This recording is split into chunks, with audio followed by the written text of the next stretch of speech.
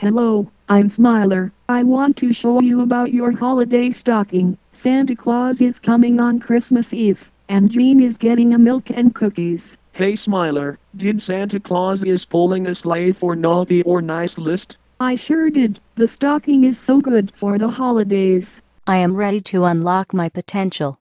I could be anything I set my mind to. I could be a football player, or a queen, or a spacewoman.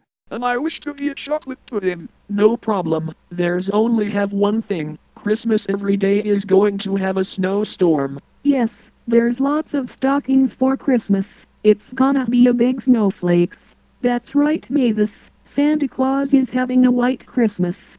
Well, it's kind of good to be back, sir.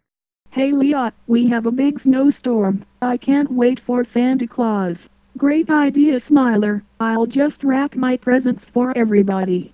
Come on, Mr. Poop. Let's go back. In the house, there's lots of presents.